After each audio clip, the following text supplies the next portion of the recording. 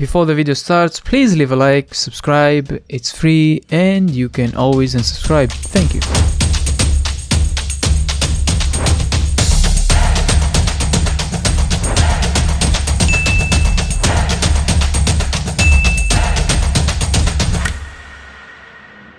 So if you're having ping issues on games, this will really help. First of all, test your internet speed. If you have slow, crappy speed, this is pointless and upgrade your speed. Second of all, it mainly depends on your location and where the servers are located. Go to their website and sign up for an account. After that, download ExitLag. First 3 days it's free, after that you have to pay $6. You can use the link in the description for cheaper prices and also use coupon for discounts as well. I'll leave the links in the description. After downloaded, run it it and install it. Installation is pretty basic and straightforward as you can see on the screen. But ladies and gentlemen, let me tell you something. I'll be giving away free ExitLags accounts to 3 people every month. So to participate, use code DFocus in the Fortnite item shop. If you don't play Fortnite, then uh, yeah, I don't know what to say, man. I record it and send it to me. I'll grab your names and put it on a wheel and spin it. The winners will get prepaid codes so you can redeem it. Alrighty, so as you can see, this is the main screen of ExitLag. So as you can see on the right side, on, I mean on the left side, we have different games. As you can see, there's a bunch of games, all the games that you can think of. So you first of all come in here and just search for Fortnite. In my case, I'm gonna choose Fortnite and then you click on it. So as you can see, we have game region. If you cannot select game region, it means that uh, you need to renew your subscription and you have to pay again. Anyway so as you can see uh, I'm going to now select a region. If you want you can click on all regions and it will select for you automatically. But for me as I live in the South Africa region uh, I am going to select which is the one that gives me the best ping uh, which is Manama BH Manama 01 alright now let's select the routes okay? So back in the days it would show here all the routes but now it's something like this and it will pop up something beautiful like this.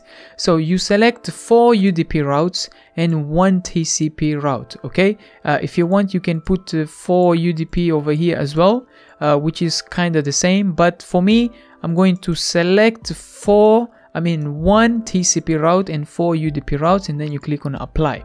Okay so as you can see there's a lot of regions right here right now and I'm going to click on apply routes. So it will ask you to not use one route unless you have a restricted bandwidth which I do so I'm going to click yes. So before that once you uh, change the routes it is always recommended to optimize I'm not going to do that right now because I need to go back in the tools and I need to change everything in here.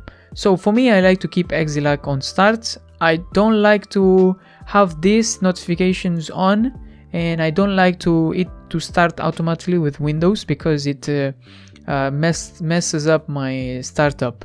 Anyways, as you can see, we have this uh, kind of uh, thingy. I don't know what to say, what to call it anyways. Uh, you just put it on high uh, protocol to analyze routes you put it on ICMP and as you can see on the screen right now I have all the routes that I had been testing and just use the one that has the lowest ping. So I ran a lot of tests and a lot of time took uh, into making this uh, this image right here this result. So please consider leaving like and subscribe. So continuing i have these three selected okay? Sometimes i don't like to have uh, high QoS priority because sometimes it has high ping. So right now it it's, it's currently good for me okay so next up is the fps boost tab if you want you can you can just leave it everything off or you can just turn everything on but i don't really recommend you doing that uh, because it might mess up your computer just uh, disable this one because it will ask you to uh, disable this when you start ExitLag. Then we have traffic shaper, just leave it on. Multi-internet, if you have multi-internet then you can use this. Diagnostics, uh, this page is for when you have problems and you want to contact uh, the ExitLag support. They will ask you to monitor the ping in real time. I don't want to select it now because it will show my IP address but uh, if you want to contact them that just use this page and you can always request a new game which is something new uh, they that they have added. Either way these are the settings that i use to get good ping on the games that i play on. Uh, as i said in the beginning it really depends on the server that you're located on and the speed that you have. Keep messing up with these uh, settings right here and yeah i hope you have good ping. All right ladies and gentlemen it is now analyzing all the routes. Let's see our new ping with the new settings so i don't know why the game disappeared but still we can just search the game and as you can see ladies and gentlemen the ping reduced to 164 ping which i initially had 190 so currently i'm using the following routes and the following server for Fortnite. Uh, keep in mind that this will only work if you're playing on Middle East servers. So if I let's try switching to Dubai. As you can see, Dubai has high ping. Dubai 2 also has high ping uh, and Manama has the lowest ping. I don't know if you heard, but weeks ago, uh, Fortnite announced in this following thread that they will be terminating uh, Middle East servers, which uh, impacted a lot of people, and some people remained with uh, low ping, and some people were experiencing very high ping. I've made a bunch of videos about this, click somewhere over there to watch it. Anyway, so as you can see, I am using the following uh, routes and if I switch to real-time optimization and smart optimization, what this does is that uh, as you can see it says right there but let me explain in uh, quick words. Basically if you're playing your game and it ExitLag sees that you are having high ping it will optimize it real time. It it won't require you to come back into ExitLag and then optimize it manually okay? Just keep in mind that this will happen and it might give you high ping it might give you low ping. So for me I like to keep it on off so if you also have IPv6, which depends really on your router or modem or ISP, if it supports IPv6, I'm pretty sure most uh, internet providers support IPv6.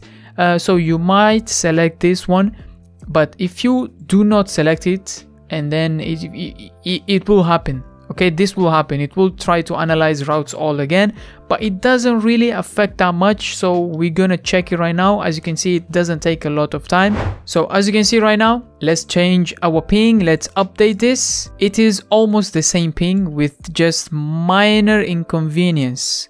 It's going up it's going down but in the game it will just remain 160 around 170 so another thing i would like to mention is that for some internet providers if you use anything different than ICMP, uh, the part where it says to analyze routes, it will take a long time, okay? So I can show you that if I change to, for example, UDP TCP, and if I click on enable IPv6, it will take a lot of time to analyze the routes. Uh, I don't know if you saw back then with ICMP, it was running like crazy, but now it is taking its time to analyze all the routes. Anyways, that will be all for today. I hope you guys enjoyed. Please leave a like, subscribe, and I will see you in the next video.